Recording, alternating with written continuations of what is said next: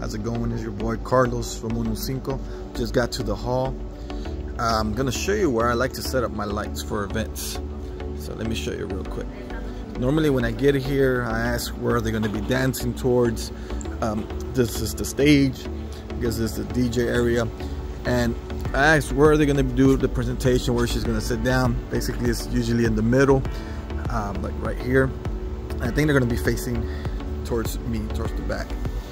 Um, so I like to set up my lights to the, I, I, set up four during the event. So everywhere they, their heads are turned, you'll see uh, there's light hitting their face. So I like to set up one over here and over here for backlighting. And then for sure, I always put two in the front facing them this way. So I put one over here and then oh, one over here. If I only use two lights, then I always set up these two. And if I use um, just three lights, I set up these two always. Always like to have two in the front and then maybe one in the back. Um, usually the further I can go that way, uh, the, be the better. That way um, they don't come out in the, in the picture so much. But I think I'm gonna put it right on that, right next to that black line right here. That curtain, I think it's a curtain.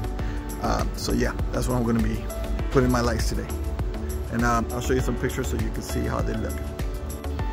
All right, so my lights are set up. I put one here, I put one there. There's one right there by the DJ, one right here.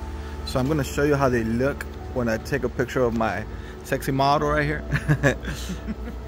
uh, so, check this out.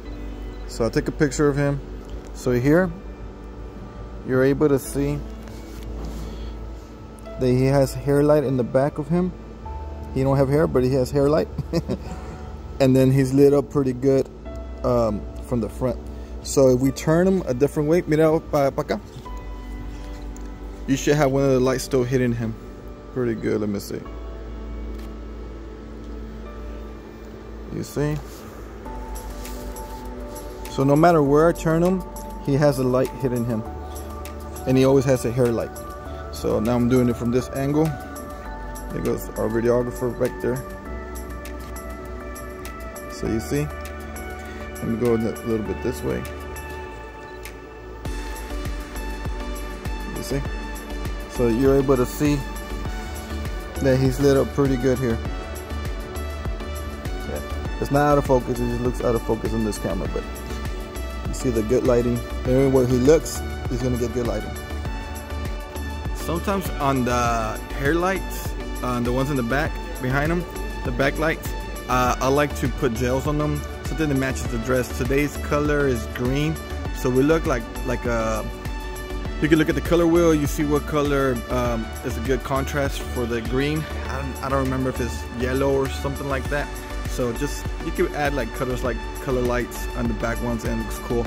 Usually if I add them, I add them uh, during the dancing but not during the uh, the actual presentation and all that because um, I don't want like I said I, I, get different angles and I don't want to get um, I don't want to get like color lights on them during the presentation. So I use if I do I do put gels on them I, I do it uh, for like the dancing like uh, the party and stuff like that. La Hora Loca as you can see I put a yellow gel on the left and a, like a red one on the right to give it a little cool effect, you know, like so every shot has like a DJ lighting, so you don't have the plain white ones um, just flashing all the time. Give it a little effect. Um, try to match colors that fit the quinceañera dress and whatnot, but um, play with it. You know, don't be afraid to add some gels into your uh, pictures.